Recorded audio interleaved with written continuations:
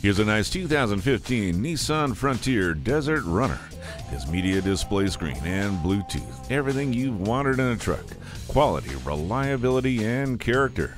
This is about the time when you're saying it's too good to be true. But let us be the ones to tell you it is true. Come see it for yourself today.